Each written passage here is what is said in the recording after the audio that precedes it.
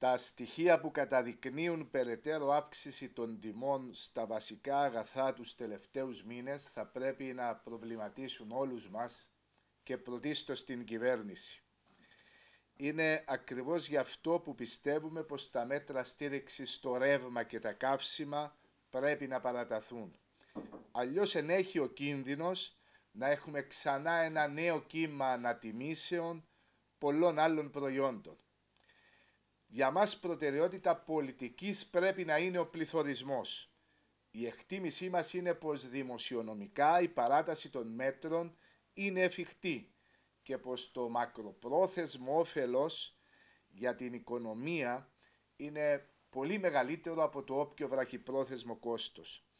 Ο δημοκρατικός συναγερμός δεν είναι υπέρ της μονιμοποίησης των έκτακτων μέτρων, αλλά υπέρ της επιτάχυσης των επενδύσεων στη ΣΑΠΕ και την αποθήκευση ενέργειας, έτσι ώστε να πετύχουμε ένα μόνιμο όφελος για τα νοικοκυριά και τις επιχειρήσεις. Αυτό αναμένουμε να πράξει η κυβέρνηση το αμέσως επόμενο διάστημα.